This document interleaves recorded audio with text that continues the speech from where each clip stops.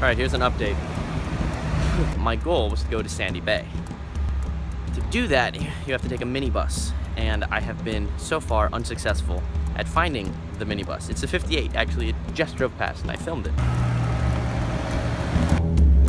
The bus never stops.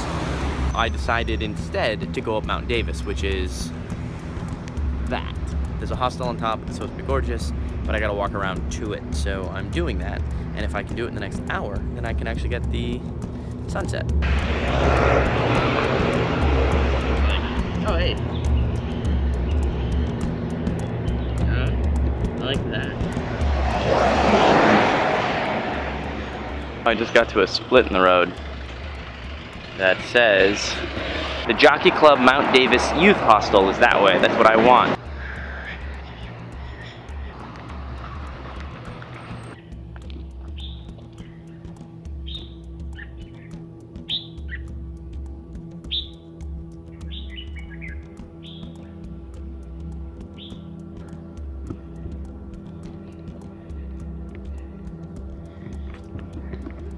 There are steps leading up to uh, an abandoned structure. I'm going to explore.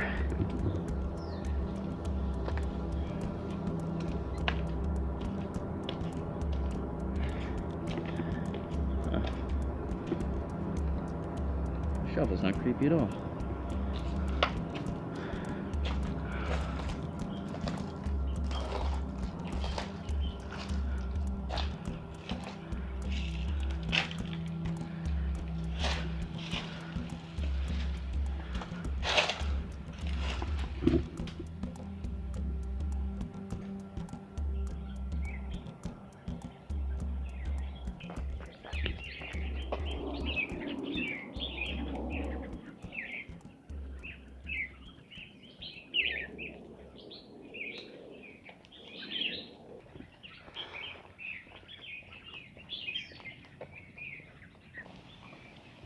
I don't know what's up with all the cars parked here. Is this like a hiding spot for people who don't want to pay for parking elsewhere and don't mind the mile long trek?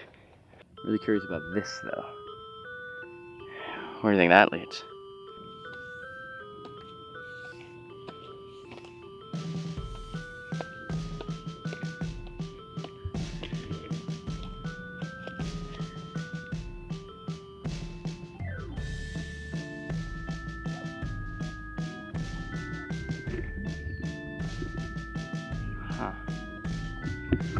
I'm gonna choose not to go down that path because I don't want to end up in a gingerbread house eaten by a witch.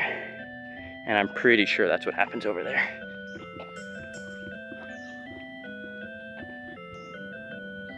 Here's my staircase.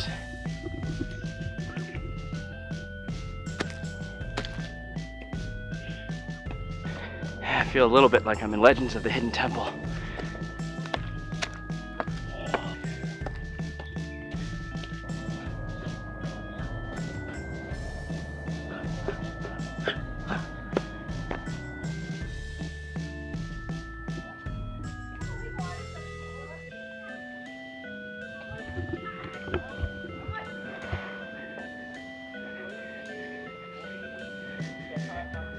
I'm currently walking up what I hope is the peak so I can get the best view of the hostel. Looks like it has a good one. I wonder if they have a bar. There's a playground full of kids and a camping area on the very peak. A lot of people too. Mount Davis Battery during the 1930s. Heavy duty guns. Uh, bombarded by the Japanese in December 1941.